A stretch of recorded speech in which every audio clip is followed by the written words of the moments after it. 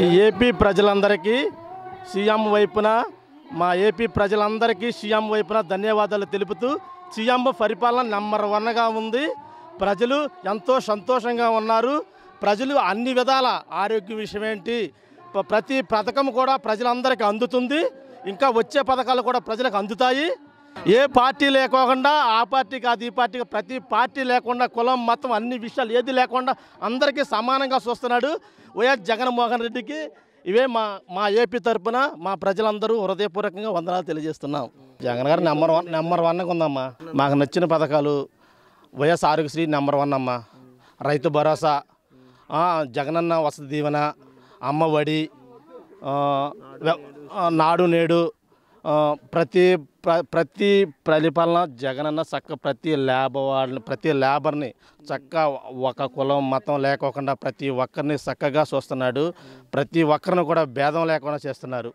మూడు రాజధానులు జగనన్న పెట్టడం వల్ల ఇబ్బంది ఏం లేదు బాగుంటుంది. ఎందుకంటే మూడు రాజధానులు అంటే మన ఏపీ మూడు ప్రక్కల డెవలప్ అవడానికి మంచి నిర్ణయం తీసుకున్నారు. మంచిది.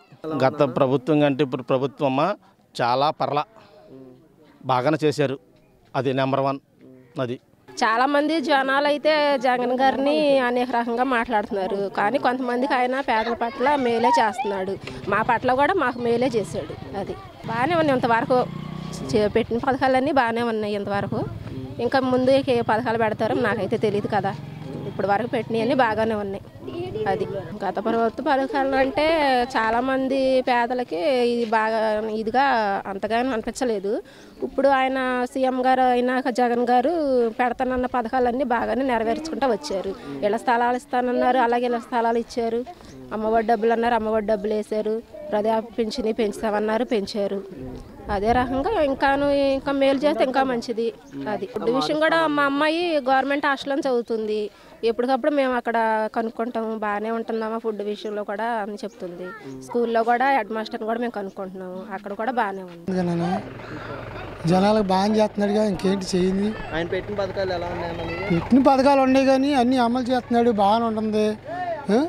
ఇళ్ళ స్థలాలేమో వాళ్ళ పార్టీ వాళ్ళకి ఉద్యోగాలేమో వాళ్ళ పార్టీ వాళ్ళకి.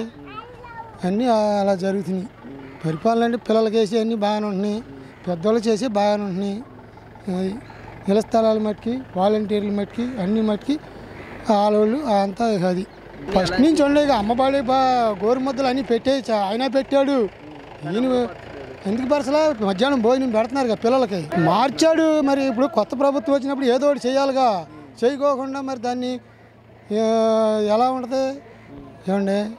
పిల్లలకి మటుకి డబ్బులు వేసాడు. పరిపాలన బాగానే ఉంది పైన బాగానే ఉంది ఇక్కడ పరిపాలన ఇలా ఉంది. ఈ వీడియో గనక మీకు నచ్చినట్లయితే లైక్ చేయండి షేర్ చేయండి. మరిన్ని వీడియోస్ కోసం మా ఛానల్ను సబ్స్క్రైబ్ చేయండి.